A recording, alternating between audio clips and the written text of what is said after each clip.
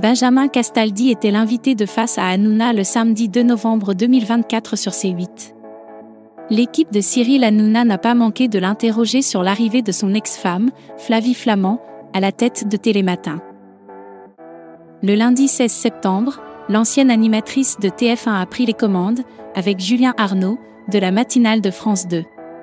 Le fils de Jean-Pierre Castaldi a estimé que la chaîne publique avait fait un excellent choix. Je trouve que c'est une très bonne idée de la part du service public de l'avoir appelée parce que je pense qu'elle est en empathie avec le public, a-t-il réagi.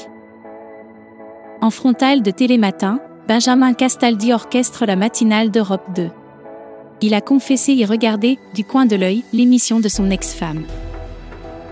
Je trouve qu'elle fait très bien son travail, a-t-il martelé avant de pointer du doigt une absence remarquée de celle dont la première a été perturbée par une célèbre présentatrice. Quelques semaines après son arrivée à la tête de Télématin, elle s'est brutalement mise en retrait de l'antenne. Je n'ai pas compris pourquoi elle est partie deux semaines en vacances en ayant commencé le 16 septembre, à lâcher l'invité de face à Hanouna avant que Gilles Verdez ne l'interrompe. Ah ça y est, le tacle commence. Ce à quoi il a surenchéri, non, non.